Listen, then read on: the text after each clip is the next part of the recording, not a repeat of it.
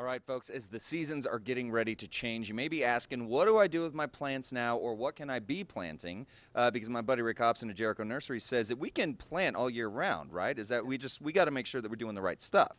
That's correct. You can plant in Albuquerque. I won't say New Mexico because northern parts of New Mexico Sure. probably not as true, but you can plant in Albuquerque 12 months a year.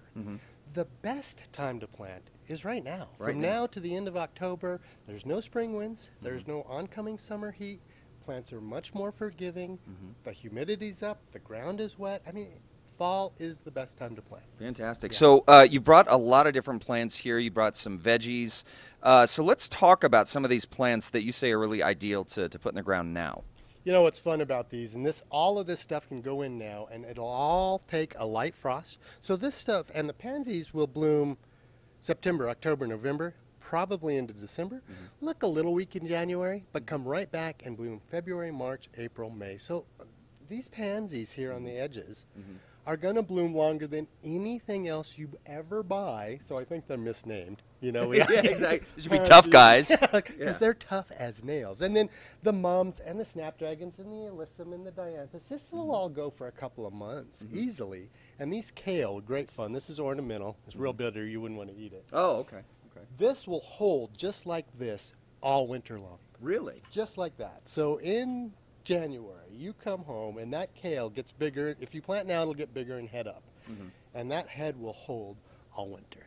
So you Wow. Mm-hmm. put that at the back, you put some pansies around and the little violas, and you've got color all winter long. That's with great. Very little effort. That's great. And that's Yeah. that's also for me that's important because. I usually kill mine. If you're novice and you want to get started, start in the wintertime with some pansies Mm-hmm. because they're so rewarding and so easy to do. Fantastic. Yeah. All right. So now let's talk about this. Of course, uh, we were talking. We started our week off here on Tucasa with the Ice Bucket Challenge, and I understand you did the Ice Bucket Challenge as well. Uh, so let's first. I think we're going to have some video of you taking the Ice Bucket Challenge. Yeah. You stepped your game up too. You used a rain barrel. We, yeah, we did. Uh, you know, I always have to go big or go home. Mm-hmm. So my wife and my manager wanted to challenge me on Wednesday. They said, We're going to challenge you. Wednesday night I get home and my son has Facebook challenged me and he does the bucket. So of course I have to do it bigger. Right.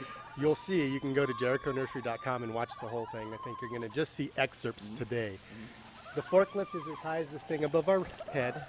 There's a 65 gallon rain barrel. The, the two women in the video just run right away.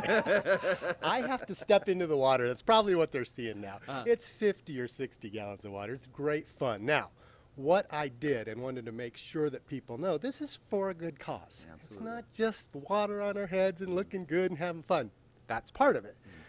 Bringing awareness to what ALS is, donating money. Oh my gosh, more money that's ever been raised. So, my challenge to my staff was okay, I'm going to do this big rain barrel.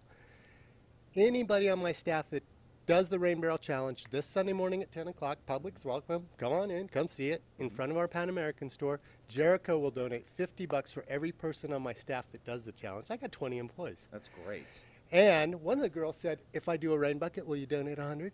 Mm-hmm. so, There you go. So the answer is yeah. yeah, the answer is yeah. So There you go. 50 bucks for a bucket, 100 bucks for a rain barrel. Anybody that gets a, a rain barrel dumped on him. So a couple thousand bucks is coming out of Jericho's pocket to support a great fundraiser Yeah. to get all of our awareness up and what this is actually for. Absolutely. All right. Well, Rick, thanks for doing that. So, yeah, Sunday morning, 10 o'clock, the Pan American location. Right. It's just off of I 25, the San Mateo exit. It's very easy to find.